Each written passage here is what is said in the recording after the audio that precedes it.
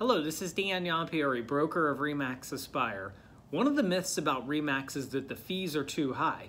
But did you know that we actually have no fee plans where you can go on a extremely high split with a cap? Bet you didn't know that. A lot of agents don't. Remax is home of a business-minded professional agent where the agent takes more risk up front, the agent has more reward.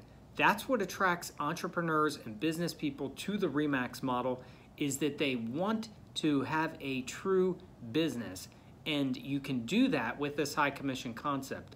So if you would like to learn more about the commission concept here at Remax Aspire, I'd love to share it with you. My number is 443 540 0018. Thank you.